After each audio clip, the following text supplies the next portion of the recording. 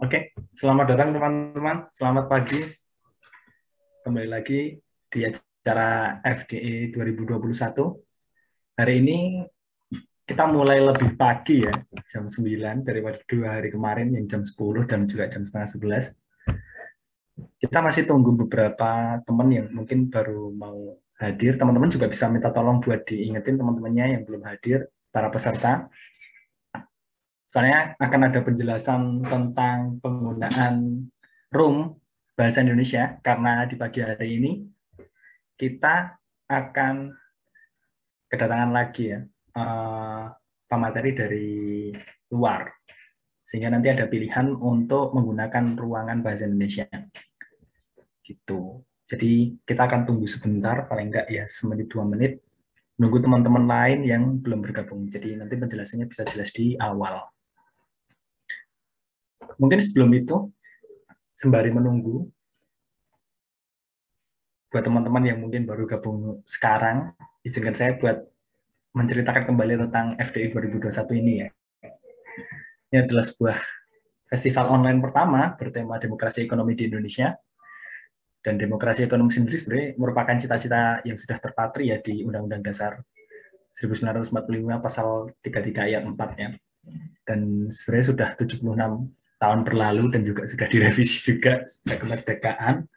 Namun rasanya demokrasi ekonomi belum menjadi wacana arus utama agenda ekonomi di Indonesia. Nah, oleh karena itu, di tahun ini, tema FDE 2021 adalah menyalakan kembali mimpi demokrasi ekonomi. Dan di sesi ke-8 ini, berjudul How Can We Accelerate the Birth of More Co-op Businesses?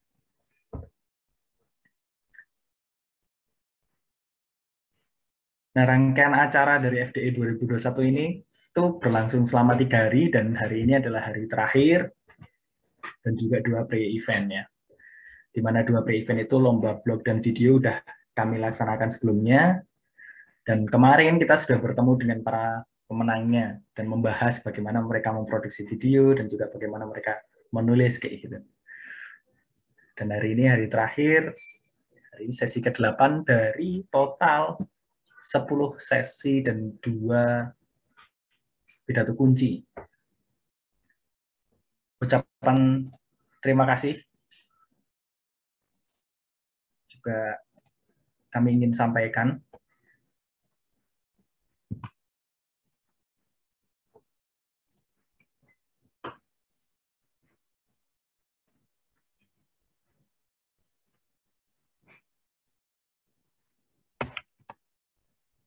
kepada para pendukung ASEAN Solidarity Economic Council, Pak ASEC, ICOPIN, LSP2I, Platform Koperasi Digital atau KODI, Siger Innovation Hub, dan juga PPKL Jaksel.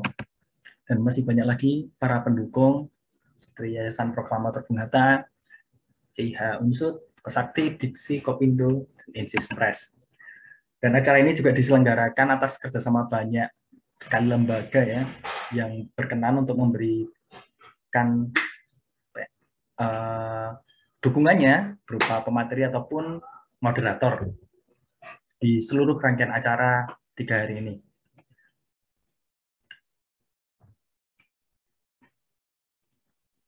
Nah mungkin uh, sebelum saya jelaskan tentang interpreter, ruang interpreter, saya akan kirimkan seperti biasa yang sudah berkali-kali ikut diskusi di Gapatma atau di FDI 2021 ini pasti tahu kalau misalnya uh, memberikan pertanyaan nanti melalui Slido. Jadi di Slido ini teman-teman bisa memberikan pertanyaan dan juga voting pertanyaan. Jadi apabila teman-teman nanti belum ada pertanyaan, nggak masalah, tetap aja buka Slido-nya buat bisa vote pertanyaan-pertanyaan teman-teman yang lain. Sehingga nanti kita akan jawab pertanyaannya, kita urutkan dari atas dari vote-nya paling banyak sampai yang vote-nya paling sedikit apabila waktunya memungkinkan. Oke, okay. sepertinya kita mulai saja ya penjelasan tentang uh, ruang. Jadi karena hari ini kita kedatangan tamu internasional dan akan memakai full bahasa Inggris untuk di sesinya, namun teman-teman yang merasa masih ragu untuk mendengarkan dalam bahasa Inggris, teman-teman bisa cek di fitur yang ada di Zoom, di More atau nah, itu ada tulisan interpretation. Nah, teman-teman klik, nanti teman-teman bisa klik ruang bahasa Indonesia. Jadi klik interpretation, lalu klik bahasa Indonesia. Gitu. Namun apabila teman-teman ingin mendengarkan dalam bahasa Inggris, teman-teman nggak perlu melakukan apa pun. Jadi nggak perlu masuk di room bahasa Inggris, nggak perlu. Jadi teman-teman hanya uh, cukup ya nggak usah melakukan apa pun kayak gitu ya. Jadi saya ulangi sekali lagi, bagi teman-teman yang mau mendengarkan dalam bahasa Indonesia, tinggal klik di fitur yang ada di Zoom, teman-teman bisa klik interpretation, lalu klik bahasa Indonesia. Tapi apabila teman-teman mau mendengarkan dalam bahasa Inggris, nggak usah di nggak usah melakukan apa pun gitu. Dan teman-teman sebenarnya bisa bolak-balik secara uh, apa ya, maksudnya bisa bolak-balik aja gitu. Misalnya kayak pengen nyobain bahasa Indonesia, terus uh, di offin gitu, nggak masalah. Di situ setelah teman-teman klik bahasa Indonesia juga, kalau mau nggak mendengarkan suara yang bahasa Inggris, bisa di mute juga. Ada opsi untuk di mute gitu. Ya. Itu mungkin kita bisa langsung mulai pada pagi hari ini kita akan dimoderatori oleh Mbak Kiki dari Youth Ambassador of Global Cooperative Entrepreneur. Halo, Mbak Kiki. Selamat pagi. Pagi. Oke, udah ready ya? Ya. Oke, sip. Silahkan. Mbak Gigi. Thank you, Mas Bima. Uh, good morning, everyone. Um, thank you for being with us again in this morning and welcome for the new participant who uh, on this event. I am as known as Kiki, um, from Indonesia, and I will be your uh, moderators today. Um, this is um interesting, uh, interesting discussion because uh, cooperative also recognized as mechanism for fostering economic growth. Cooperative structure are allowing um, individuals to pool their resources and uh, skills together to work toward uh, common economic goals, such as tourism, agriculture sectors, workers, etc., with aim to increasing uh, member incomes and uh, other goals. By working together, COOP members can achieve the goals that could not be achieved by individual alone in bringing seven cooperative principles. But how to start? How can it be sustained? Our speaker today uh, is the people who help a community uh, to incubate their cooperative in their place. And uh, we'll share about what are they doing in um, their work to accelerate the birth of co-op business in their area. Um, the presentations uh, will be uh, presentations by uh, the speakers for 15 minutes and followed by a short discussion for each presentations. So um, uh, let me in introduce our first speakers. Uh, we have uh, Mr. Brett, Greg Brodsky from um, the the incub the start.coop uh, he is the co-directors of uh, Start.coop. Um, Mr. Greg, uh, the floor is yours. Hello, everyone. Selamat pagi. And first of all, I just want to say how much of an incredible honor it is to present to you all. Um, I over 20 years ago, I actually studied abroad in Indonesia during my university, and I lived in Malang for um, several months. And uh, I still think about the tempeh I had there and the nasi goreng and the gado gado. So uh, I love Indonesia. I love the people of Indonesia. So when I got this invitation, I couldn't say no because it was such a great honor. So um, I'm in the United States, and so I'm going to share my uh, slides and just uh, talk about what we're doing here to try to create more cooperatives.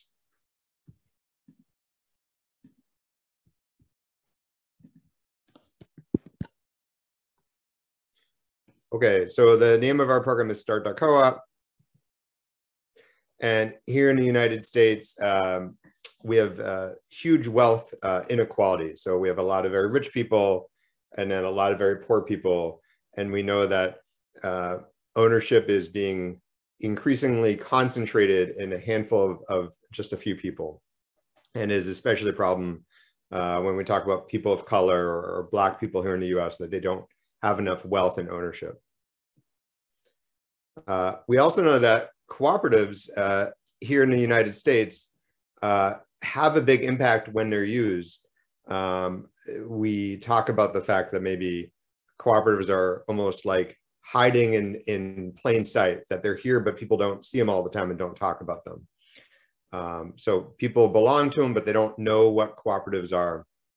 And so the question is, is if cooperatives are so great, why aren't there more cooperatives? And we've identified three major reasons why we think uh, there are so few new cooperatives being started. Uh, fewer than 1% of new businesses in the US are cooperatively owned. So why is that? Number one is there's a, a misunderstanding or misperception that even though a lot of people have heard the word cooperative, uh, only 11% of people in the United States can accurately define what a cooperative is. Many people have heard the word but can't really explain it. Number two is uh, for people who want to start cooperatively owned businesses, they feel like there's uh, a lack of support. They feel like it can feel uh, confusing or complicated compared to starting a traditional business. Uh, and finally, for those who know to start one and, and make it through the path, then there's also a lack of uh, financing or investment to, to make the business bigger. So we created an accelerator called Start Co-op about four years ago to help support the entrepreneurs, mainly focusing on this second problem of how do we bring more support to entrepreneurs who want to start cooperative owned business. Um, we try to bring more people in uh, to cooperative ownership. We uh, share the stories of our graduates and, and the community. And so right now we get maybe uh, 100 to 120 uh, people inquiring every year about our program. Maybe uh, 75 to 85 people per year apply to our program. And then, uh, and then we, we choose the top six to eight entrepreneurs every year who uh, who we think have a business that can scale. So I'll talk a little bit more about that.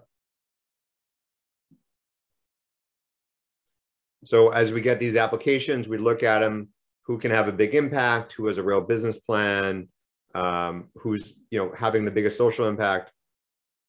And then we put them through our, our accelerator program. And so just to talk about what our accelerator program is, uh, there's a, a curriculum, almost like a, a, a, mini education for, for business education. Um, there's mentorship, there is uh, coaching.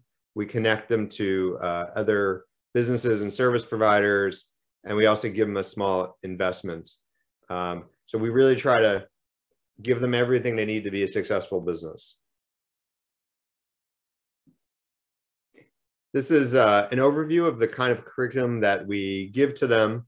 Uh, so each week they're focusing on a different part of the business, uh, everything from fundraising and presenting to ownership, governance, marketing, competition, financial, and even sort of the emotional aspect of being an entrepreneur.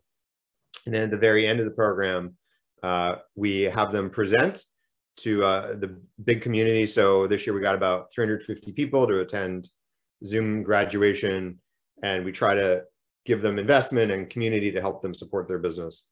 Um, so yeah, so it's curriculum, investment, a big mentor community, uh, and then the, the service providers that help them as well. Um, and then the, the, the, last aspect I, I want to talk about a little bit is as we've been doing the program now for three years, um, and each year we graduate uh, six to eight new cooperatives, we realized that one of the biggest problems was that they're not receiving enough financing. And so uh, we, we would interview the entrepreneurs at the beginning of the program and we would say, what's your biggest problem? And they would say, lack of money. Uh, and we would interview them at the end of the program and we would say, what's your biggest problem? And they would say, lack of money. And so we uh, have actually now designed a very small investment fund to help uh, invest in the best graduates of our program. So our program itself is a, a nonprofit. I don't know what the uh, Indonesian equivalent is, but uh, the accelerator is a nonprofit. And then we also have this investment fund to invest in the, the graduates. So we're, we're just starting that and learning about what works, but we're trying to bring together a community of individual investors who want to invest in the teams. And we bring them to graduation and we also have them work with the entrepreneurs. And uh, yeah, and, and that's it. I'm, I'm happy to take more questions. I tried to keep it, um, you know, just give you the, the key parts. So thank you very much for having me. Thank you, uh, uh, Mr. Greg, for uh, your uh, presentations. It's very interesting that uh, in incubating the co-op, we I see that um, in 60 weeks of fame that we discussed in there. Um, yeah, so um, we're still uh, we're still waiting for the questions, but uh, we have the interesting thing that we have partnering with um, several uh, institutions to uh, this um, this uh, program. So uh, can you uh, let us know more about this um, this partnership thing? Yeah, thank you for that question. So so as the entrepreneurs go through the program, they need different things, right? So they need um, uh, help with their business model. So that comes from the staff and also the mentors. But then they also need help with uh, just different aspects of their, their business. Maybe, uh, marketing, maybe a lawyer, marketing, maybe an masalah uh, akuntansi, tech programming. So what we dan mungkin juga masalah teknologi. Jadi kami harus dengan mereka dengan banyak sekali orang yang bisa mempermudah mereka. dan kami juga akan we have this problem. Here's someone who's really good at it. So we can just plug them in and make them more efficient at solving their problem. Um, and, and, and i think you know part of what we're trying to do that that is well i think there's two interesting things about what we're trying to do. One is that we're trying to take the entrepreneurs who already have the great idea and already have the passion and the vision for the business. And the second thing is that then we're trying to speed up their their process for them that we think it takes too long right now to create each cooperative. And we're trying to like systematize it for them uh, so that we're not doing one at a time. We're trying to say hey we've got a lot of resources and we can all do this faster and more efficiently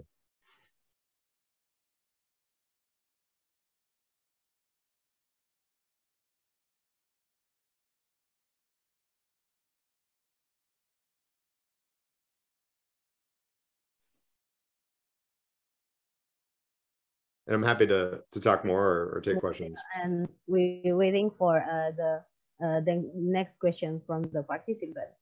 So um, I will introduce the uh, second uh, speakers uh, here. It's uh, uh, Rohan, Mr. Rohan Clarke from uh, Australia. He is the uh, co-founder of uh, incubator.coop.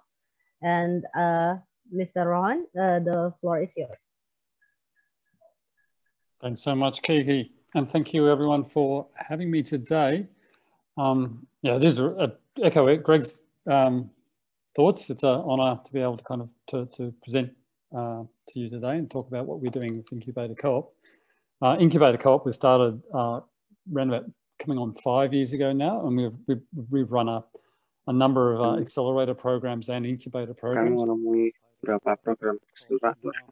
Series one and two, and series of that coming up uh, shortly. What I thought today, though, to, to kind of yang saya pikirkan hari ini adalah memberikan keuntungan pikiran. Dan saya membawakan pelajaran terkait dengan the kind of uh, in gestation currently. So it might just provide a different kind of perspective on some of the things that we've learned from Incubator Co-op. Um, so if I work this works currently, hey, it works, fantastic. So the first of these is the uh, Regen Farmers Mutual. Uh, it's a its journey started just over a year ago, um, and its uh, its objective is to help um, Australian farmers accessing yang membantu para petani Australia masuk ke dalam pasar. Jadi idenya adalah incentivized and rewarded for doing good things on their farm through environmental markets. So that's that's uh, the Regen Farmers Mutual. And the, second co-op that's uh, we're going to look at is the is Wayfarer Co-op, and some of you may have seen this before. Uh, Wayfarer is also started around about 18 months ago now, and it went through the Platform Co-ops Now Accelerator program. Um, and you can think of Wayfarer a bit like Airbnb, um, but rather than being owned by shareholders in the US, it's owned by cooperatively, cooperatively by local communities via their tourism boards. And so under the model, it invests 50% of its booking fees back into local communities. Um, so while the guest kind of pays the same as they would otherwise, and while the host receives the same as they would under the Airbnb model, the local community is actually getting funding uh, via Wayfarer. So there are two co-ops that we kind of, kind of just kind of step through and give you some like five lessons as to to what we've learnt um, with respect to you know how you go about you know, incubating a, and starting up a co-op. So the first, the first and most probably the most important thing is, and this is no different to any startup really, but it's it comes through time and again that um, in our incubator process that's really really important to go beyond kind of abstract value statements and really find that simple, clear way to, to express you know, the reason why your new co-op is coming into existence. So with respect to the Regen Farmers Mutual, this is something that our, our members, our farmers can really easily understand.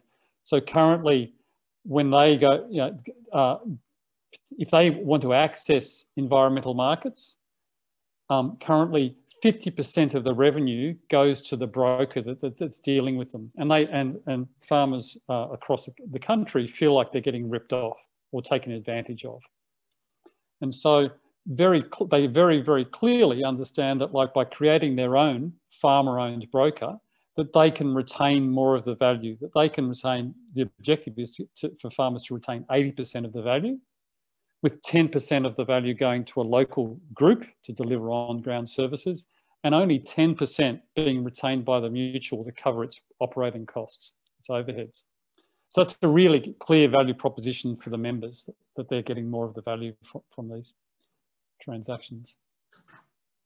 So kind of similarly or, or in contrast, Wayfarer it's, it's very clear that so in Australia, there's about $150 million that is paid to accommodation booking flat platforms, principally Airbnb, with those profits all disappearing offshore without even really tax being paid locally.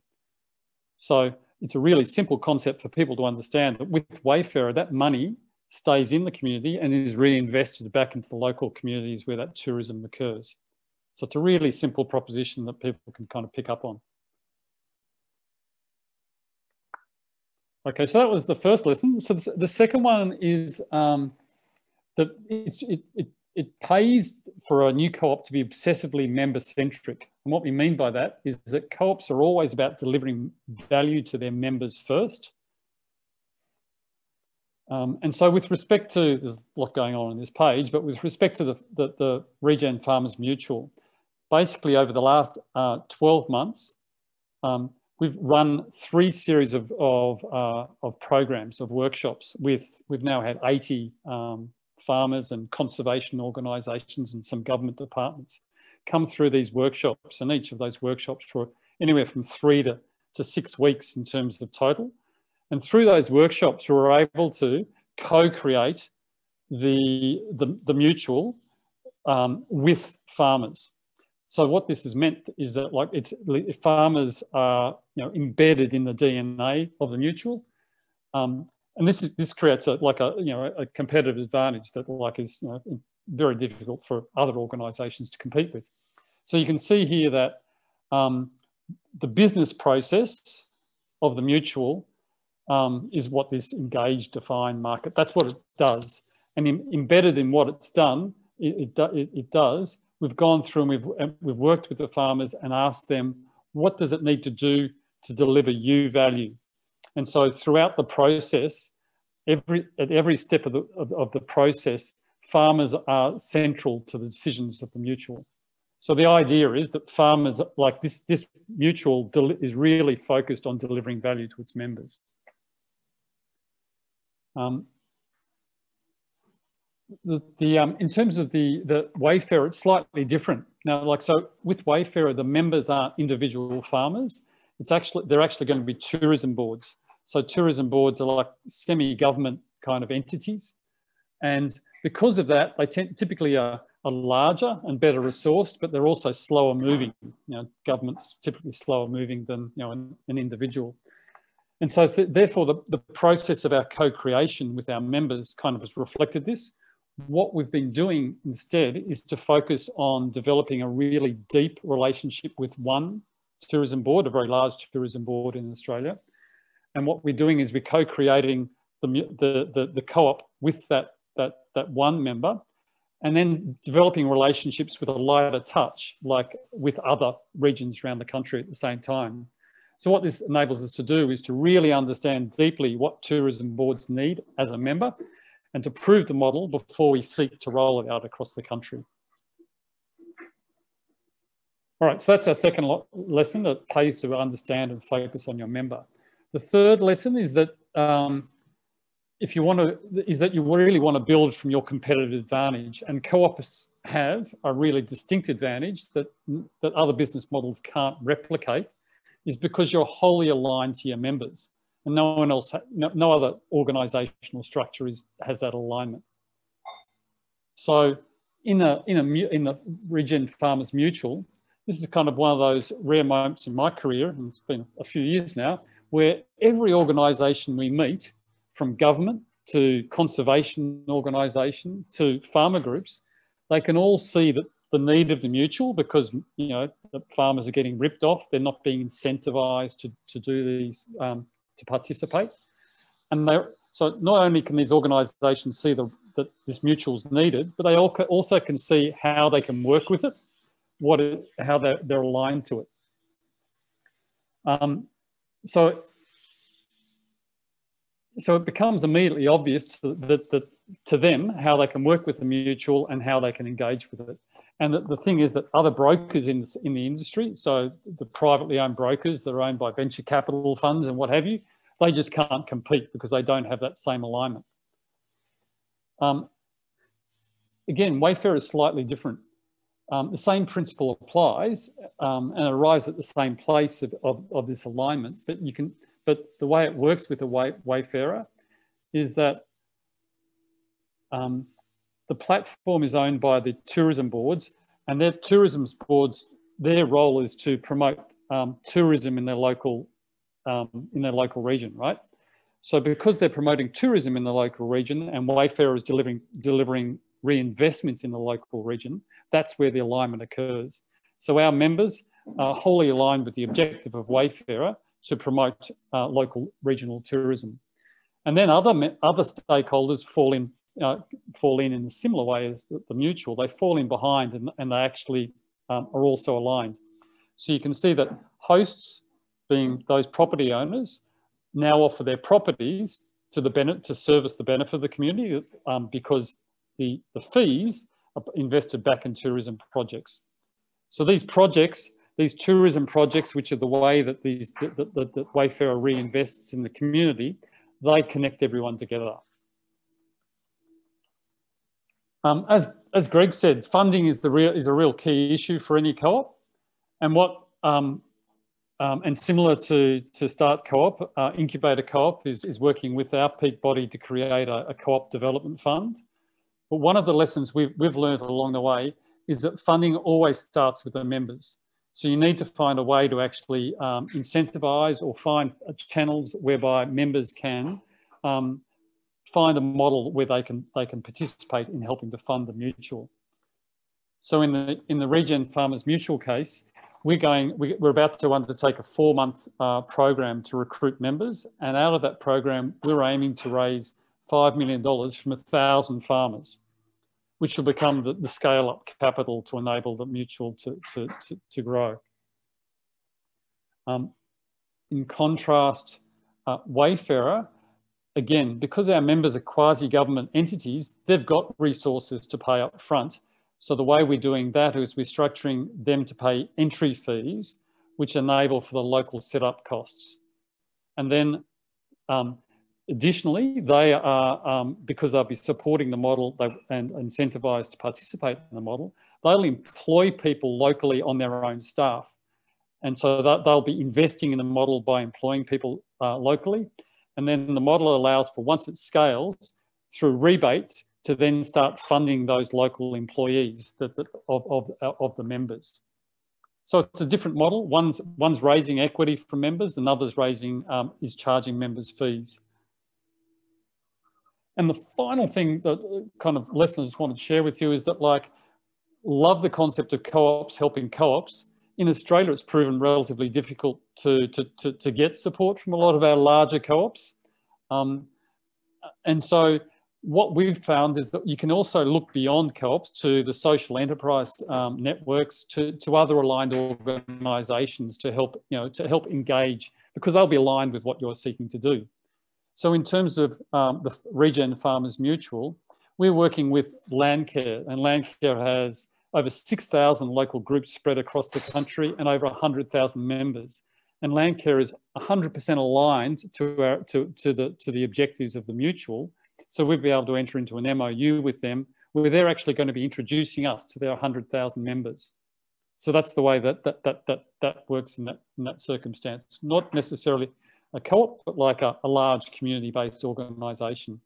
And with Wayfarer, we're actually um, engaging with the social enterprise networks.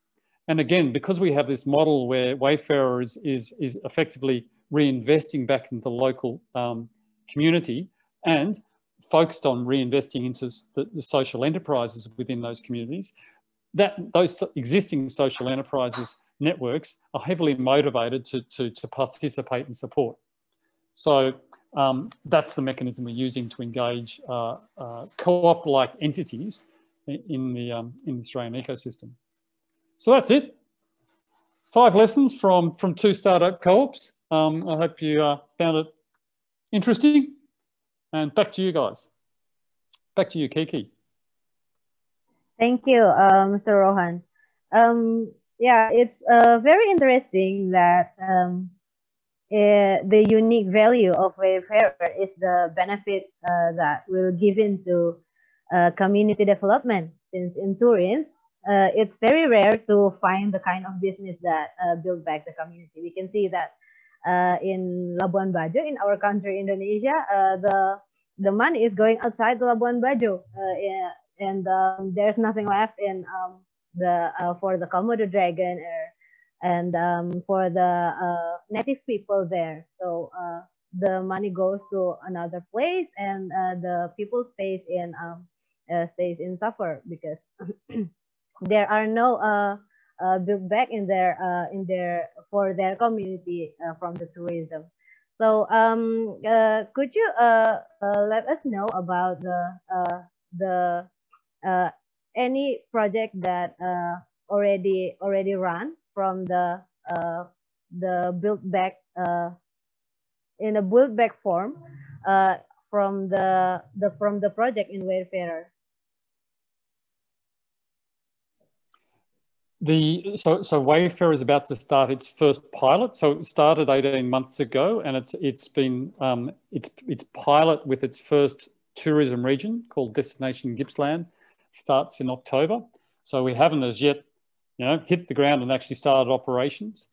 Um, the, the the three projects that that or the three areas, the pro project areas that that like are, are that are being proposed. Um, so the way it works is the when the guest stays at a uh, accommodation, when they're checking out, they can choose from one of three projects that they can donate their their fifty percent to, and so those three those three areas in the destination Gippsland case will be um, what's called tracks and trails. So it, will be you know like um, walking in the in the wilderness. So it's more of an adventure or, or um, type um, um, with, within the environment kind of perspective. There'll be um, invest protecting koalas. there's, a, there's, a, project to protect, protect koalas and, and other Australian uh, Indigenous animals, which clearly people feel there's a certain people that respond to. And there's also uh, another to invest in the local food trails. So it's a, um, this part of the world is very much a food and wine um, destination. And so the idea is to create trails that people can kind of follow. So um, we haven't as yet identified, we, that's part of the process we're actually going through right now, working with the local um, community to work out what are the social enterprises that exist within those. So one, for example, within the tracks and trails, is the idea is that they're um, of creating a, a business that can support the, the maintenance of those trails because they're wilderness, they need to be weeded and, and um, looked after. And typically that's been done by, you know, outsourced contractors that like um, may or may not, um, you know, there might be big, very large construction company or something. And the idea is rather than do that, we create an entity that's um, um, um, owned by the employees and by the local um, government. And then that, that is the entity that, that one builds the trails and then maintains them. And so that's, that's kind of the, the social enterprise that, that, that potentially could be catalyzed. The one other thing that I should mention is that we're looking at um, that 1% um, of the revenue we would like to set aside for international cooperative development. So the idea that this model could be replicated um, on a federated basis globally is really of interest. And so if we could find a way to actually create a non-profit you know, entity that the way that Wayfarer and others could contribute to, to create knowledge sharing and, and shared infrastructure, that's, that's something that we think is, is kind of another thing that that kind of model can, can enable.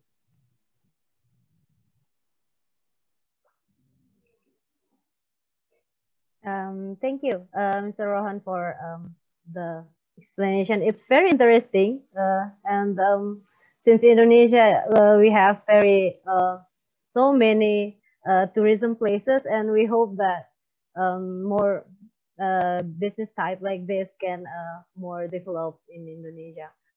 Um, thank you. And um, and then we are moving on to the third speakers. Uh, this is Mbak Ani Saadah. Uh, Saadah is from um, uh, Inno, Innocircle um, Co. Uh, it's an incubator co in um, in, in Indonesia. So um, Mbak Anis, uh, stage is yours. Okay. Uh, good morning, Kiki. Good morning, everyone. Uh, thank you for having me. Um, so I hope all of you uh, safety and also good and healthy in the in the meantime. Okay, um, today is a cooperative day in Indonesia, and I would like to uh, wish happy 74th cooperative day. And 74 years ago, our founding fathers uh, declare about cooperative as the pillar of our economic nations, and we are uh, now is the generation that have a duty to preserve the economic democracy in this country. And also in our um, Undang-Undang 1945 uh, said bahwa perekonomian disusun sebagai usaha bersama berdasar atas asas kekeluargaan.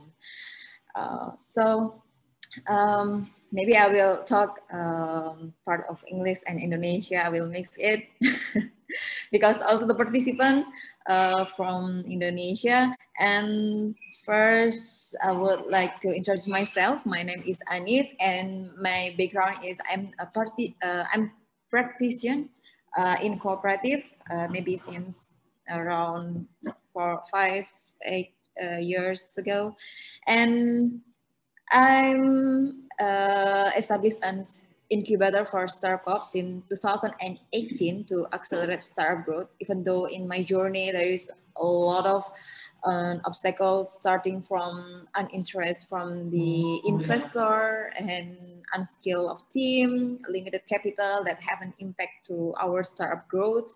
And I also joined in the Association of Indonesian Cooperative for Indonesian Consortium for Cooperative Innovations.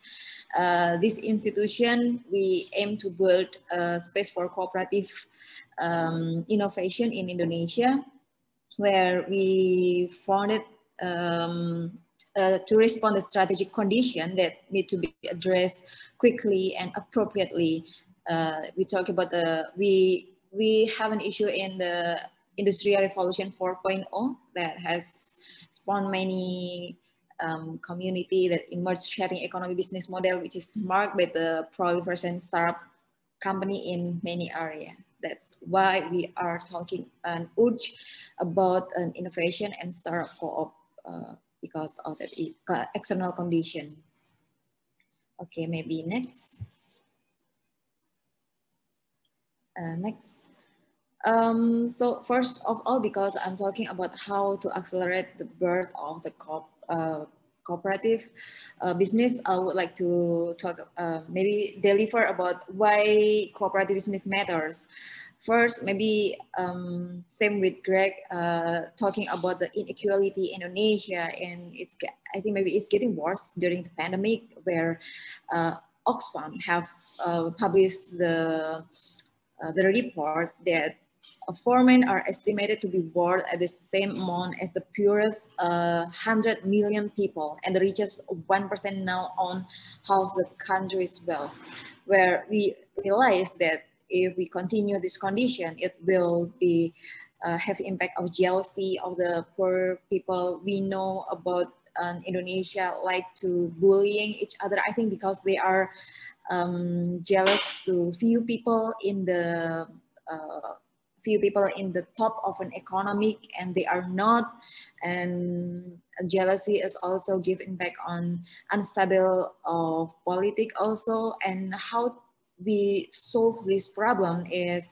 we have to uh, ownership and wealth should be shared uh, and cooperative business practice are better for both society and economy. And I think this uh, business model, uh, the governance where uh, not only talking about the business and also democracy economy is the best solution for this main problem. And, and next and what kind of business should we create in the midst of industrial revolution 4.0 um, uh, well actually in the midst of this era we are not only talking about the technology and also Schwab uh, said in his books that uh, the more important that main effect on um, business is about a customer expectations on product enhancement, collaboration, innovation, and also organizational forms.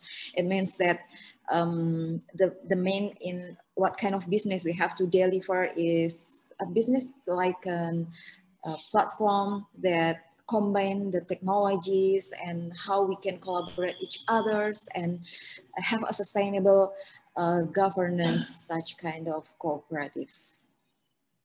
Okay, next. Okay, um, there is, uh, we have to consider cooperative an advantage and also disadvantage. Well, basically I'm practitioner in a business and there's a lot of a lack when and a lot of um, obstacle when I establish with a cooperative uh, way, such kind of, I have a lot of an opportunity, some investor to invest on my startup, but uh, we have no one vision.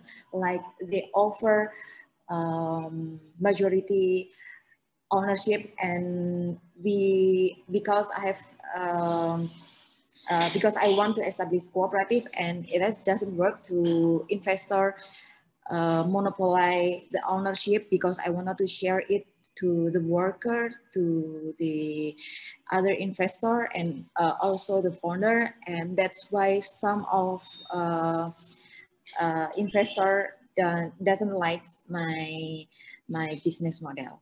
and the disadvantage is also the limited capital. And because I have a lack of capital, I haven't uh, unskilled team because I only paid them with the low uh, wages and that's the multiplier uh, effect and impact on it. Um, and the impact is efficient management and absence of motivation.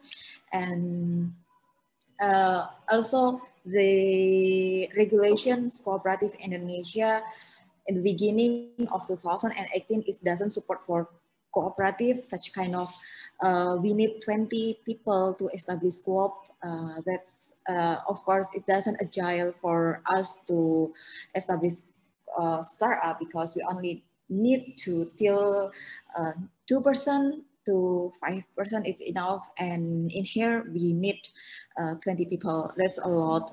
It doesn't agile for us to establish a business right?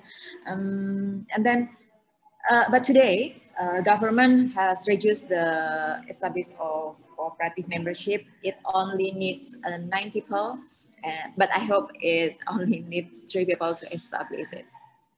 The rigid regulations and uh, so many people doesn't know about cooperative suite uh, for them to establish a um, startup because they only know the limited uh, how it say maybe private company that's suitable for them because they are can do anything that that and they have a lot of um, advantages. But and based on my practices uh, I would like to share uh, my best uh, advantage established co-op. That is um, I think that the cooperative is the best uh, the, the, the, the the rational and the logical for us with the limited resources, limited um, knowledge for us to collect each other uh, with my college, uh, one to three person uh, gather in one company to establish um, and that is very rational and logical for us to establish because uh, we have to um, to build a company and uh, yeah we have uh, more easier to gather a vision. And this is, I get it from uh, some reference about the advantage and the disadvantage. Okay, next. Okay, and uh, how to how to accelerate uh, how to accelerate the birth of um, uh, cooperative, business cooperative. I think everyone knowing about a sandbox, right? Uh, startup uh, drama in Korea. It was the best socialization tells about, uh, especially in Indonesia, talk about the startup and talk about in incubator. Um, after uh, this drama release in Indonesia, be before this drama, there are doesn't know about what kind of incubator, what is the incubator it is, and etc. But after this drama release, uh, everyone more easier to understand what the importance of an incubator. Like uh, we need, uh, why we need an incubator or the place where our idea have, uh, we can pitch our idea, we can find our investor, we can find our team, we can find the community, the mentorship, and etc. That is the place uh, we called an incubator, or the more easier to understand it, a sandbox, like in, in uh, startup drama Korea. Um, uh, yeah, in an incubator, uh, we can gather uh, st stakeholders such kind of university and funding community to build a new enterprises or a new startup. And it was bridging by the uh, incubator. Next, and the last I would like to say to Boomer. I think we have to talk about cooperative seriously because uh, Boomer have a lot of resources capital, but they have no willingness to help us as a startup co-op to to accelerate our idea or believing on our idea where we we build in a technological base. Uh, they are why we, they are not uh, trust on us because uh, Boomer uh, prefer uh, invest on a conventional business model, um, such as they have uh, need and uh, yeah conventional but they they doesn't they doesn't understand about what kind of platform. They doesn't understand about the business around with technology and the importance of data the importance of uh, customer delivery and etc and if we uh, care about the sustainability of cooperative in here i think uh, boomer where they have a lot of resources. They have to share their capital uh, to the, the born of uh, a new business and it through uh, incubator or uh, kind of uh, incubator or accelerator where we will deliver it to the uh, entrepreneur or startup co-op and we will monitoring it with uh, mentorship uh, with university and the government. Okay, uh, maybe uh, that's the last of my uh, slides and thank you.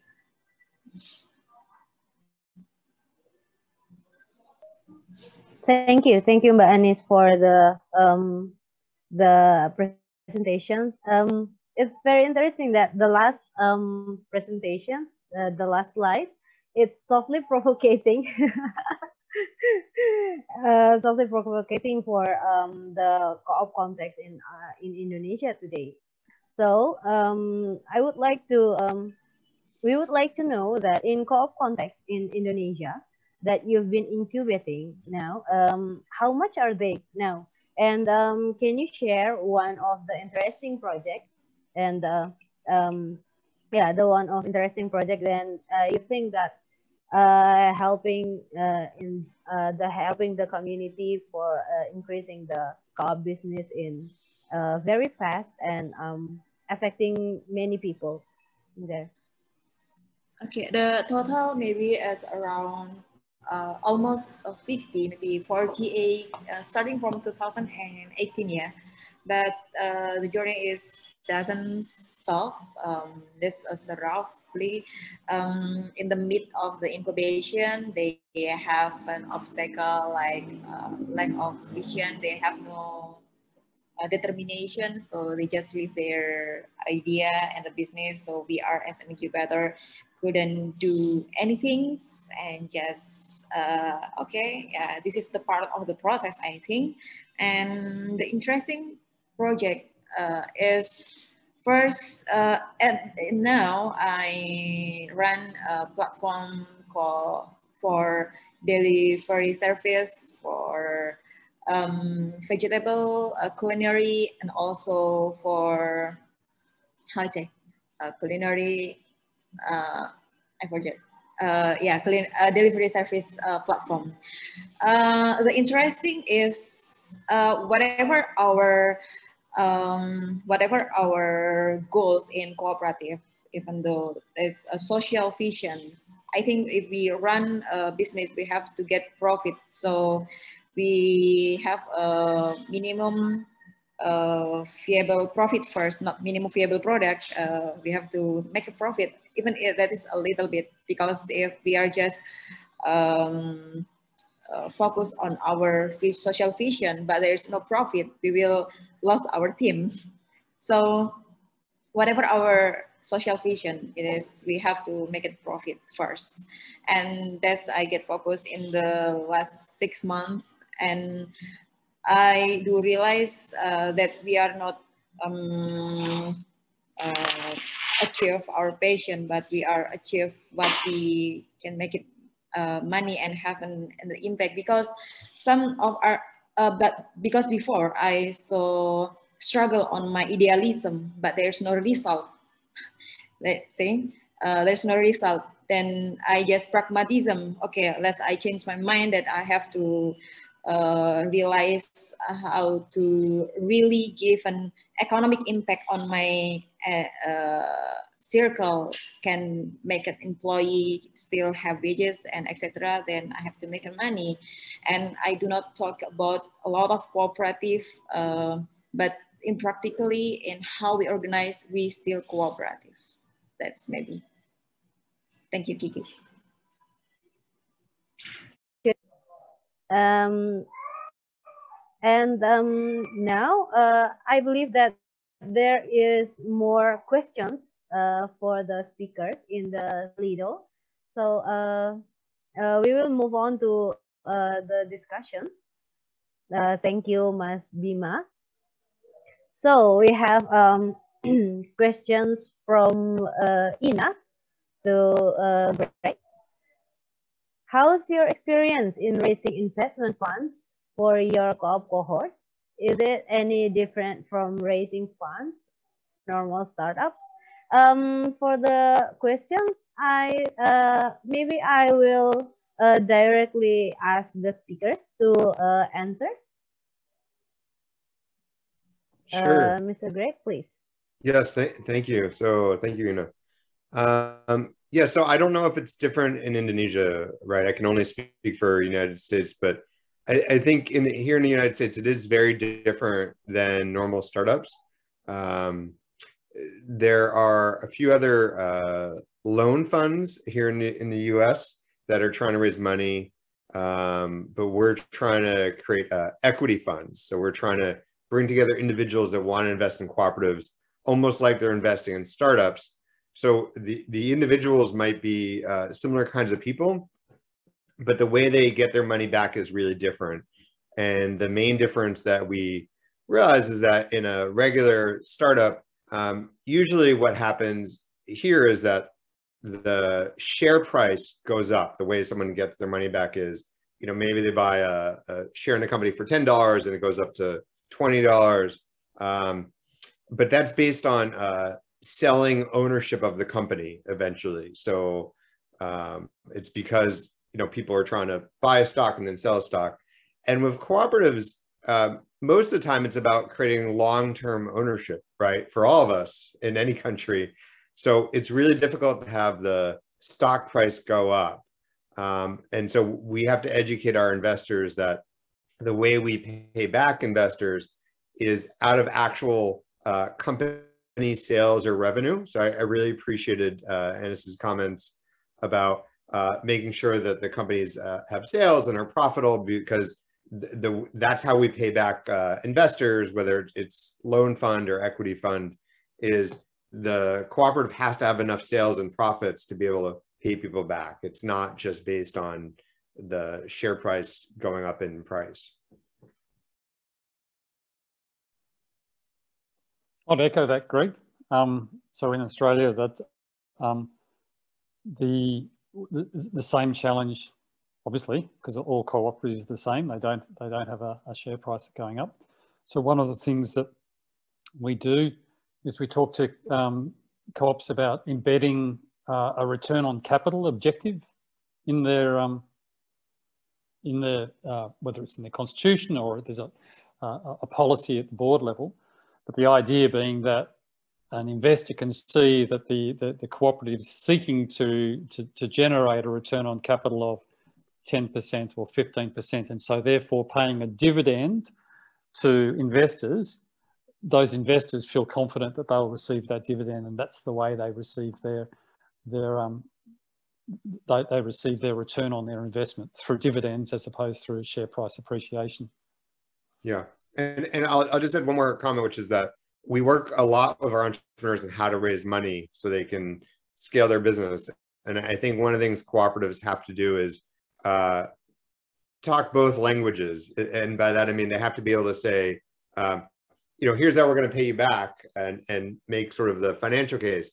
But then also here's the social impact of, of our cooperative as well. Uh, because you know, if someone just wants to make money, uh, investing in cooperatives is probably not the easiest way to do it.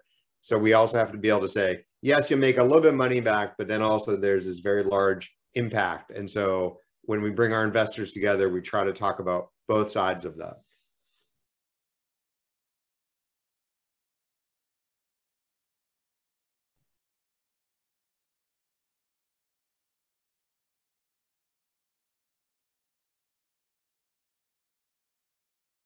Can I ask you a question, Greg? Uh, yep, just just following that Yeah. same same same question. So in Australia, where the, the the cooperative sector is currently there's a couple of very large cooperatives who are, uh, want to put together a cooperative development fund. And there's a and there's, a, there's examples of this in Canada. There's a cooperative development fund and, and elsewhere. And so they want to actually go. Um, we will put five percent of our surplus each year into the development fund, and that fund will will make loans to cooperatives, startup cooperatives. But those loans will be more equity-like. So they'll be loans, but they'll be you know, maybe they get paid over, repaid over 10 years and that, that, that, you know, in the event that the cooperative can't pay an interest that year, it won't kind of round, um, they won't be wound up. Does that, in your experience, is that, is that like the loan funds in, does that work in your circumstance? Are, the, are other cooperatives supporting the emergence of funding?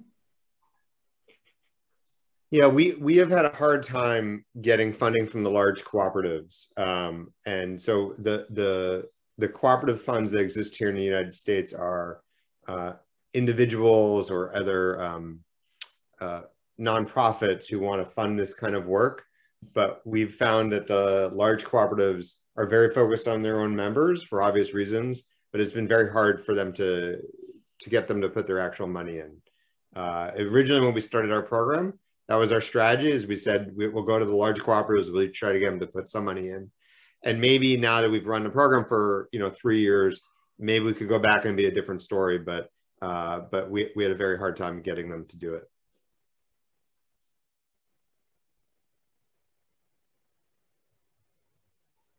Okay um, uh, i can see uh, tehera raising her hands. Um,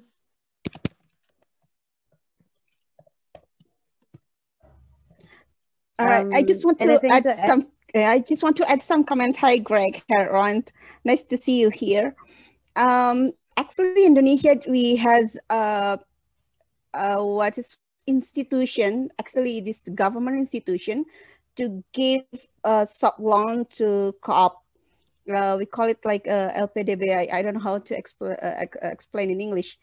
Uh, so they will give um, soft loan to co-op and uh, with the certain uh, requirements like uh, two years uh, general meeting or things like that. Um, but we we really we don't have uh, like what the Canada have um, cooperative funding like in in, in Australia. Uh, this really cooperative movement to initiate the, the, institution, but here the government is already uh, initiate to uh, built this institution. Uh, that's my comment. Uh, thank you, uh, Kiki. Um, thank you, Tehera, for the informations. And um, we moving on to the uh, second. And this will uh, answer the questions first. Oke, okay. uh, mungkin saya jawab pakai bahasa ya. Oke. Okay um, bagaimana saya mau elaborasikan pengalaman saya membangun koperasi. Apakah memulai dari modal atau dari orang. Jadi saya uh, bereksperimentasi. I have an experiment uh, build cooperative uh, from people first and unfortunately it doesn't work because uh, we are have a three people with a with the one visions to create a startup co-op and also to create a business. But uh, the happen is uh, the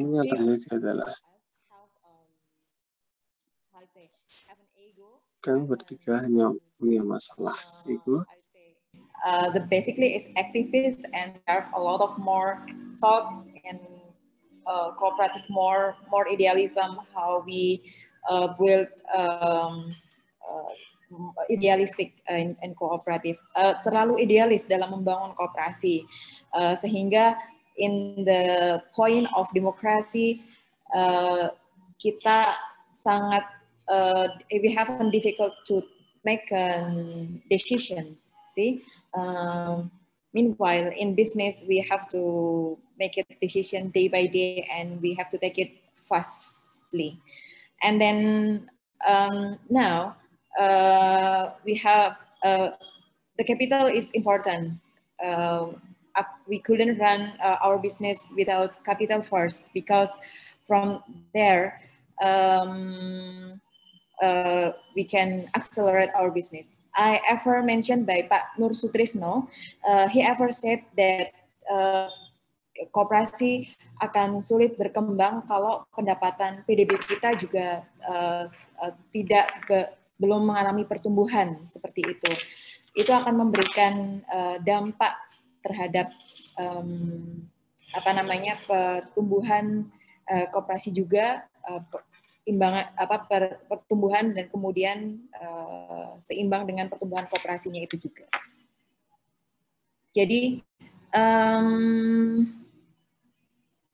itu mungkin uh, sedikit pengalaman saya. Tapi itu okay, tentu saja you, pengalaman saya yang masih terbatas eh, empat uh, lima tahun belakangan ini. Uh, mungkin uh, akan lebih berbeda dengan pengalaman saya ke depan bahwasanya people have uh, the main con, uh, main important on the starting a business. Thank you. Okay. Okay, thank you, Vanis. Because Kiki is leaving now, I will cover her. Uh, I see that Vincentus Repu want to add some opinion? Halo, Vincentus? Vincentus, ya, Mas sorry. Bima. Oke, okay, oke. Okay. Mas Bima, ini kita campur-campur nih bahasa Indonesia, bahasa Inggris. Karena ya, Mbak Hira. Mbak Ani, selamat bertemu ya. ya. Selamat pagi, Pak. Okay, one of your slides put in the first um, rank that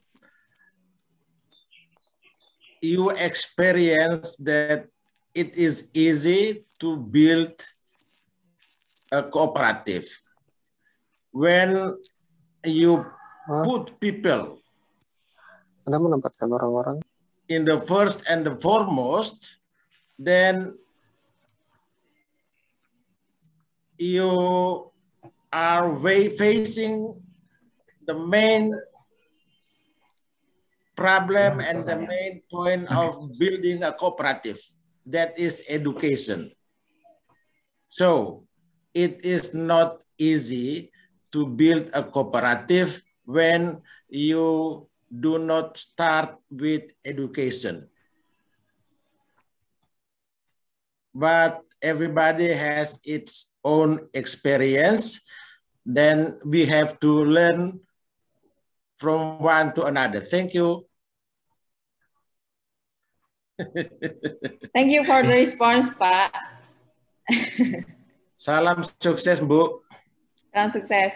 Jadi mungkin kalau boleh saya menanggapi, Pak, justru teman-teman jauh lebih memahami kooperasi ketika mereka berpraktek, ketika mereka menghadapi masalah dan akhirnya mereka uh, bertemu pada titik, oh uh, saya butuh ini dan saya butuh ini dan ternyata kooperasi di tengah jalan itu adalah jawabannya, bukan dengan doktriner me, uh, mengatakan bahwasanya kooperasi is the best way for your business atau we have to run uh, our business uh, through kooperatif gitu. Ternyata it doesn't work gitu Pak. Um, ternyata ketika kita di tengah jalan dan menghadapi banyak permasalahan, di titik situlah kita akhirnya memahami uh, based on praktek terlebih dahulu gitu mungkin. Sehingga proses awal saya yang mengedukasi terlalu banyak ternyata justru membuat uh, mereka dan uh, tidak diimbangi dengan bisnisnya akhirnya pada lepas satu persatu. But uh, of course education is a main pillar in cooperative Thank you, Pak. Okay, thank you, Baris, for your reflection to building a cooperative. Uh, okay, we will next to the question, yeah, uh, from Abizar. What is the what is the role of the state toward cooperative in your country? Maybe Rohan can answer first. Oh, that's a big question. there's um, it, it goes in swings and roundabouts. Um, so if you go back to the 1930s and 1940s in Australia, cooperatives were hugely supported by, by government. Um, they're, they're, less so uh, today. the role of um, the role of government um, is they treat cooperatives as much like any other co uh, co um, business co corporation organisation. Um, we uh, challenge the challenge governments both at the um, national and the kind of the local level to uh, to understand the that cooperatives kind of deliver more than um, your equivalent cor corporate corporate so that they deliver social objectives as as, as um, Greg was talking to before. They, they, they deliver impact um, in a way that uh, traditional companies can't. So our part of our challenge is to to engage with government and to to get them to understand that cooperatives can deliver impact in a way that uh, and so potentially could be treated in ways that um, other uh, companies. But as it stands today, most uh, governments just look at co uh, cooperatives in Australia as much like any other co company.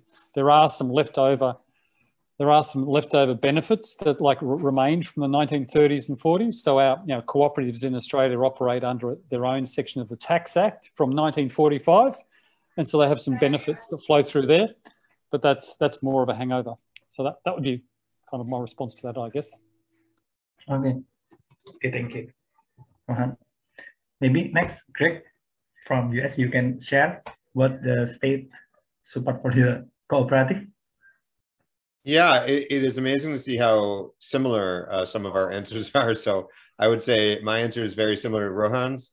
Uh, hmm. there are they're looked at as corporations like any other corporation, and there are some special leftover benefits um, from a long time ago, mostly around uh, the farmer and agricultural co-ops.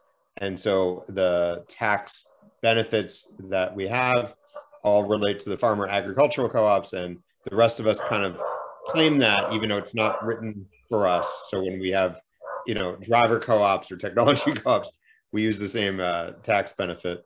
But um, but here in the U.S., there's not a lot of hmm. government support for cooperatives, like except for that one tax perk. Uh, so they they happen, but nothing special. We kind of have to fight for it, just like any other business. Okay. Okay. Thank you, Greg. I think Kiki is joining us again. Hello, Kiki. Yeah, uh, apologize okay. for the uh, for the issues. I just get back in. Yeah. Um. um. And um. Uh, the third speaker for the questions. Uh, Mbak Anis, what is the role of the state uh, towards cooperative in your country? I think um, when I know we were in uh, we were Indonesian, but maybe our two speakers want to know in our context too. So, please.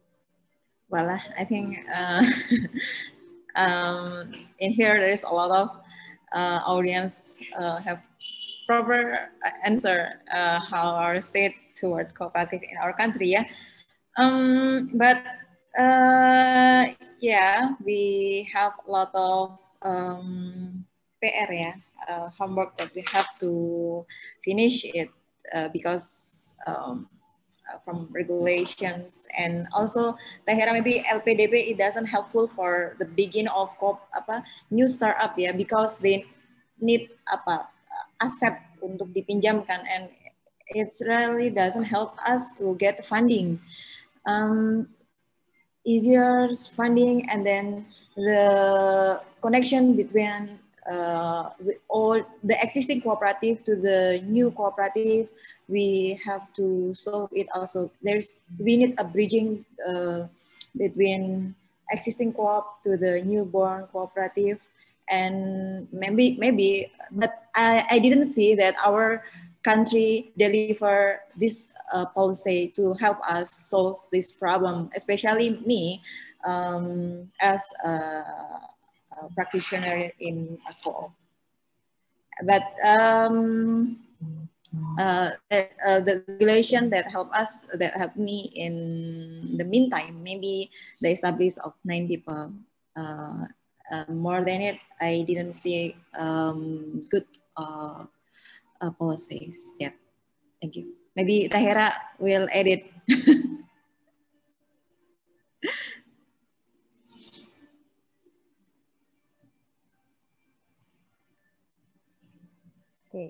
Um, thank you. Um, so um, can we move on to second uh, questions or Tehera wants to add something?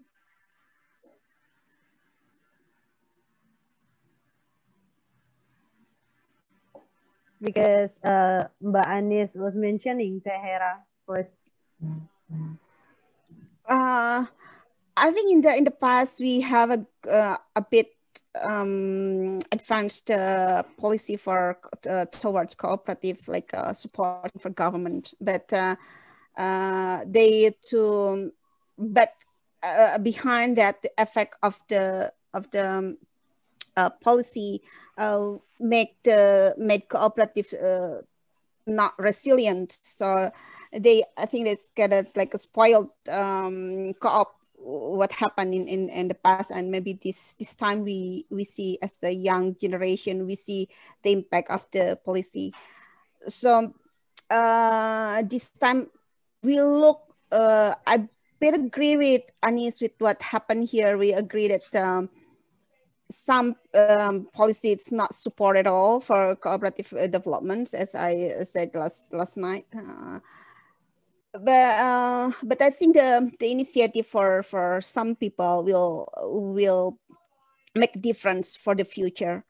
So I hope with people who who gather here uh, last night and today uh, this morning, uh, to give insight to many people and more people to aware that um, what the policy for cooperative development is not uh, still uh, unsupport us uh, as many aspects. Right. Thank you. Kiki. Thank you, Anis. Good luck for you. Yeah, thank you. Uh, so uh, let's move on to the uh, next questions. Is uh, for Rohan. Uh, how long does the process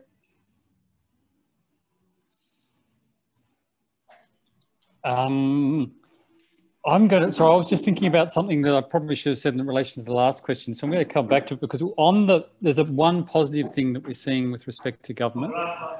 Um, and that's, um, but it's not cooperative um, only for cooperatives, but like the idea that social procurement has become um, something that, that certainly in Australia has become a, a, a focus. So that governments um, uh, prefer to deal with um, social enterprise. So they'll preference social enterprise in their in their buying. That idea is spreading so that um, uh, regions have social procurement policies that apply for all the businesses. So the large businesses in that in that region will adopt a, a social procurement um, um framework and also preference social enterprise. And in that context, we're now starting to see that um, it's taken a while, but like cooperatives being um, included as part of that social enterprise. So, so benefiting from social procurement. So whether it's a, a cleaning cooperative um, that um, is owned by its employees being preferred over a commercial cooperative, or in the case of Wayfarer, that in a sense is part of what we're talking to tourism boards about to say, well, you can um, support this model and by and by doing so, you'll have reinvestment back in your local community. That's that idea is, is kind of highly aligned to social procurement. So I pro probably should have said that in relation to the last question. That that's one of the positives that we're seeing a kind of an emerging trend, um, notwithstanding the fact that they haven't been strongly supported till now.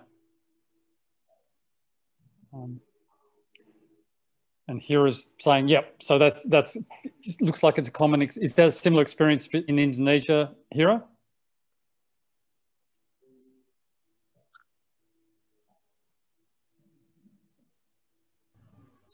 Yes, uh, now they have a, like a president uh, instruction for the social uh, social entrepreneurship policy.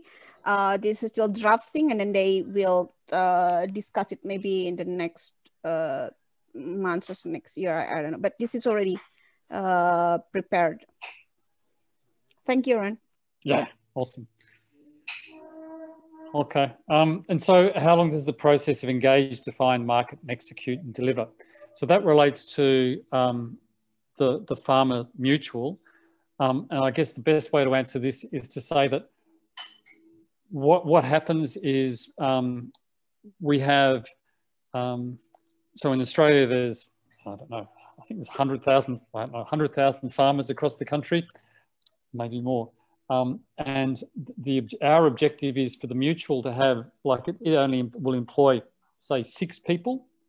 So the way it interacts with this very very large number of farmers is by um, through um, these these networks, these farmer networks. So Landcare is that is a farmer network, and so by so the so in terms of how long does the process, the first part of that process, engage define, is about that local Landcare group engaging their local farmers to for them to understand what the opportunity is for them to to to to, to better manage the land um, in in their region to and in doing so to create environmental market um, uh, products. Kind of difficult to explain, but like so to create carbon credits. And so that first part is done at the local level that engaged and define, and that could take anywhere from three to six months. Um, but the local, the, the local Landcare group um, is leading that. Then they will come to, it to the mutual and the mutual will then help them take that product to market. So they'll, they will, um, the mutual will then go, right, you've defined this carbon credit. We will now take that to our buyers. And so that market execute and deliver. And because these transactions are, you know, 25 years um, is a car, you know, is a, the shortest that you can do in the carbon markets. So that the long-term transactions, the mutual then assists in the, the those farmers in marketing and executing the transaction, but then supporting that transaction over the next 25 years. So I hope that kind of explains what that what that engage, define, market, execute, and deliver means.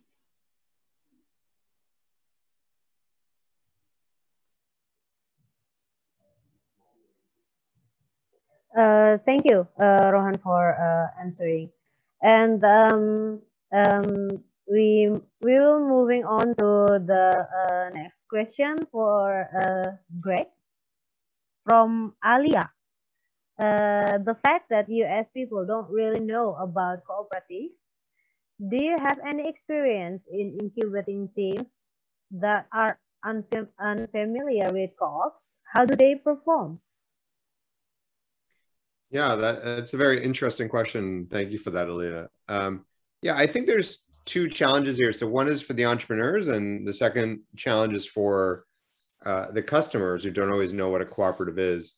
Um, for the entrepreneurs, we think about it that we have to teach them uh, the cooperative side. We have to explain, you know, governance and how to bring in member voice and how to make sure you're really going out and, and communicating with your members uh, very well.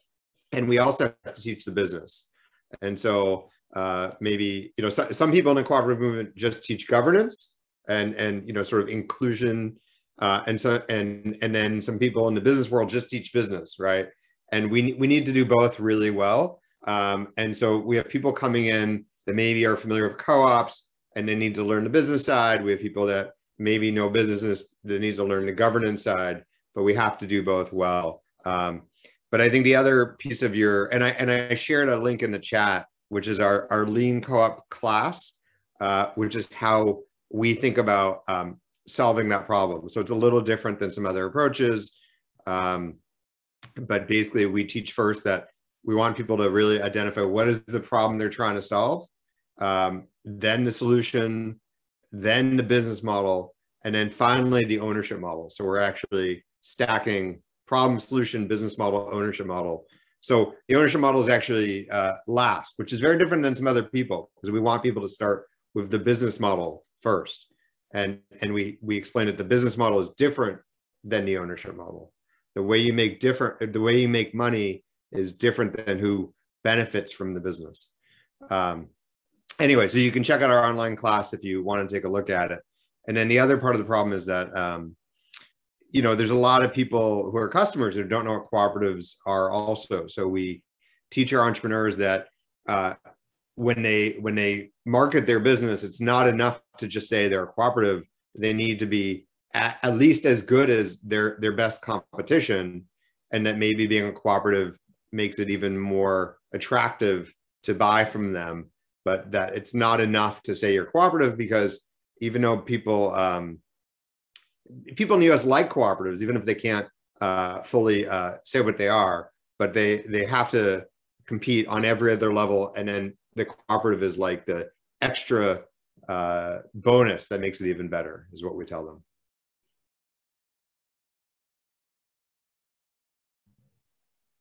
Um, thank you, uh, Mr. Greg. Uh, it's very interesting. And um, we have three last uh, questions. Uh, I believe this is for uh, Mr. Rohan. And uh, first of them is um, uh, in Bahasa. So let me uh, translate it for you. in Indonesia, we have um, tourism community developed by the government. Is that possible to adapting wayfarer in the um, in the uh, community, in the tourism community. And um, uh, we have the second questions. Um, how to measure every member fund so it would be fair for all?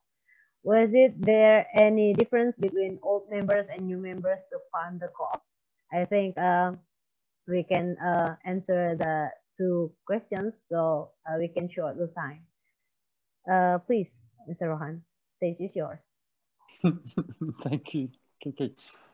Um, sorry, here I I can't, I don't uh, read Indonesian, so I'm not sure whether you've answered the first question for me.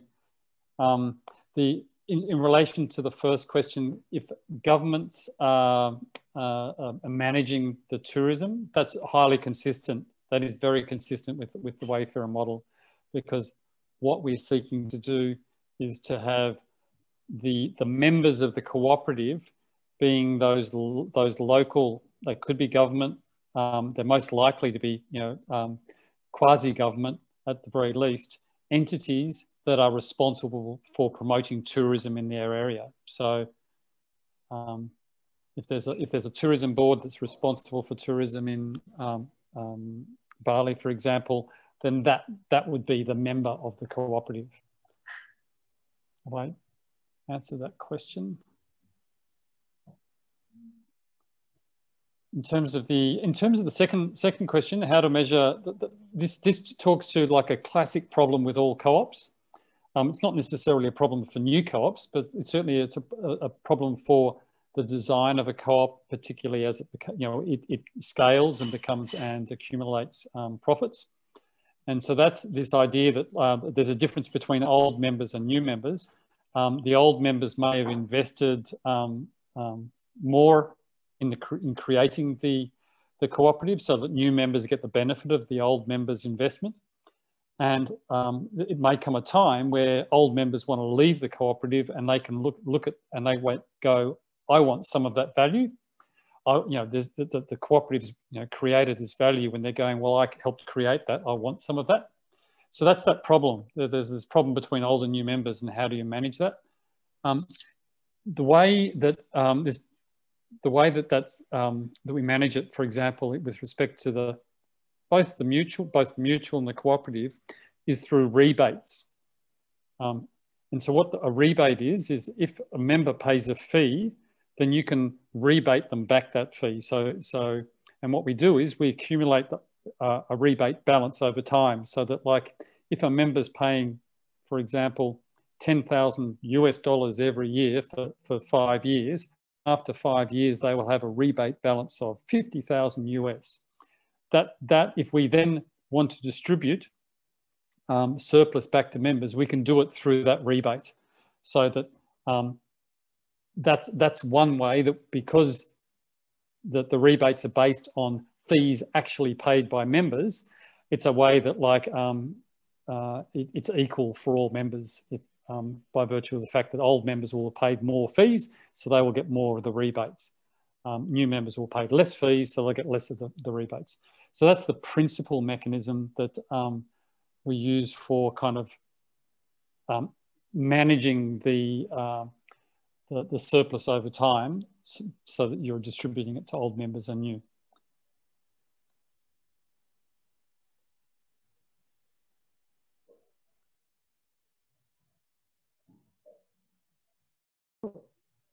Um, thank you, Mr. Rohan, for the uh, answer. And um, uh, it's uh, 11, uh, 11 past uh, 11.39 in uh, WITA time, which means uh, we have a little bit more uh, time for discussions. And uh, we have two last uh, questions.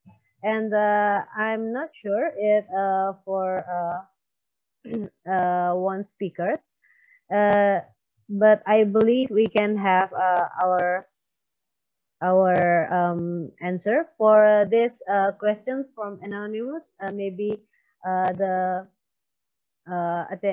people who give the questions will be appear here um, the incubator and incubating in Indonesia have a, a egocentric problem, a big egocentric uh, egocentric problem. So uh, they will uh, going uh, going by themselves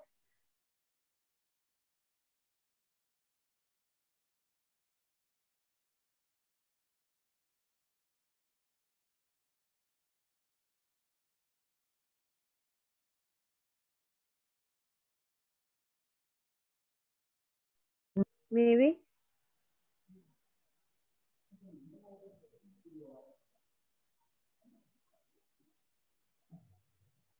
Mbak Anis? Okay, I'm sorry, Kiki, I lost your voice. So uh, I'll answer. Uh, the question is incubator and incubating in Indonesia have the big uh, uh, polemic, egocentric and polemic. So they run by uh, themselves.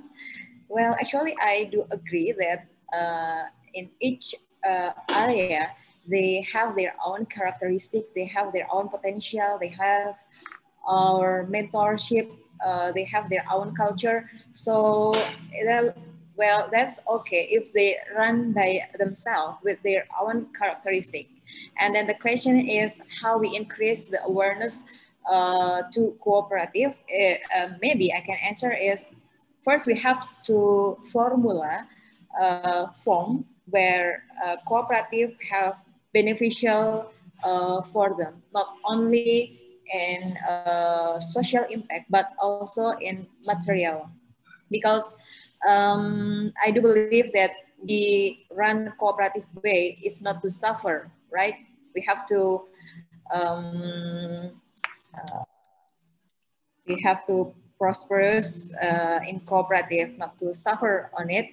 Uh, and then uh, the answer is uh, we have to switch. Uh, we have to create a formula first for the incubator that cooperative have the best form for the, the society that in that incubator through cooperative they are not only uh, works on the social, but also in the economics. Uh, I mean, in uh, business uh, also. So the local government, uh, they have a willingness to, how it say, to talk to the community to support their local product, not to use uh, a great product that the money is doesn't uh, I say tidak berada, not in the in the local area, but they are run back to the capital city. I think there is that we will need a local willingness from the government to say that we use to we have to use our local product and to use um, a local brand uh, to to increase the to, uh, and also to support the cooperative way. That's it. Uh, yeah, thank you. Um, and um, we're moving to uh, next questions. Uh, I believe the next questions is um, all uh, all everything about the wayfarer I think Wayfarer is getting more interesting because in Indonesia we have uh, a lot of uh, uh, tourism places. And um, uh, these three questions is for uh, Wayfarer, uh, Mr. Rohan. And um, is it possible to use Wayfarer as an existing platform to connect local co-op tourism in Indonesia? And um, does Wayfarer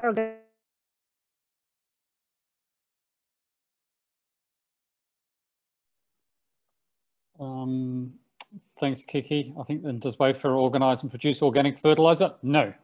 it's it's um, it's it, it uh, participates in. I think that's kind of mixing the two ideas, but it um, is um, uh, it's it's it's a platform to help local tourism organisations reinvest in, in, in the local uh, community. So it's like Airbnb, but it enables rather than those profits being taken out of the community, they're actually they actually stay and get reinvested in the community. Um, and um, is it possible to use Wayfarer as an existing platform to connect tourism in, in Indonesia? Um, the answer is yes, but to understand, Wayfarer is a um, it's in Australia. It, it's using a, a platform which we we're, we're um, it's using a software as a service. So it's using a platform and that could be platform could be used by uh, uh, Indonesian equivalent. So if, if there was a startup in Indonesia that wanted to be to do what Wayfarer is doing, it doesn't have to be called Wayfarer. Um, it could use the same platform, um, which that Wayfarer is using, and it pays the same fees to, to use that because that is a software as a service that we're using. Um, so, so the technology is not um, not a challenge. There are some, um, and we're really happy to share our learnings about what, how to apply this business model, how to, because um, the business model is is really about, um, we call it community wealth building. It's really about enabling communities to to take the local tourism dollar and reinvest it in their local community in a way that you know it it it um, you know helps to um, create business in that local community. So we're really happy to share our learnings. Um, and so that's why, you know, we, we see that, um, you know, the idea of creating a, a federated structure, so um, an international entity that actually um, enables this type of model to be replicated in any country around the world, I, we, we think that that would be a really useful thing because we firmly believe the model's a, a good one. Um, and in terms of the software platform, we see that um, if we were to, if there were to be a number of countries creating this model, we could, in concept, build our own platform that would be cooperatively owned by all, you know, by, by all these countries. Um, and so that that's really of interest to us. And, and so to that, you know, to that extent, we, we're thinking that if we set aside part of our earnings to enable that to happen, then, then that might be something that'd be really interesting to do to kind of promote this model globally. And um, um, you know, and, and create our own software platform that, that's cooperatively owned globally. So does that answer that question? I think it may do. Oh, yeah.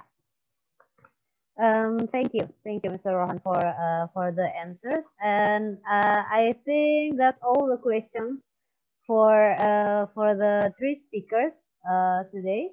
Thank you, thank you very much. Um, apologize for my face doesn't appear because the signals here is unstable. So um, uh, I would like to say uh, thank you uh, for the uh, for the uh, every uh, every thought and every soft provocating that made made us think about the future of cooperative movement in in Indonesia in future and um, we will uh, for the uh, participant we will uh, remind you that we have still we still have upcoming uh, event after this. And if uh, feel free if you uh, would like to join it. Um, uh thank you for the um, for the participations. And um, thank you uh for the uh for the everything that we discussed today, and we hope that uh, we will uh, see each other more in next uh, discussions. And uh, for uh, participants who wants to mo know more about the the movement, the start.coop, the incubators, coop, and InnoCircle, and uh, we can contact them in the their website. So uh, thank you for Gapatma Demeko, uh, uh, Demeko who held the party the festivals uh, for uh, uh, economic democracy, and we hope we will see in next in the next event next year. And um, have a nice day, everyone. Thank you. Okay, thank you, Kiki. Uh, before we close the session, can we just take a photo? So please uh, open your cam everyone? Okay. Okay, we're waiting. Please open your camera.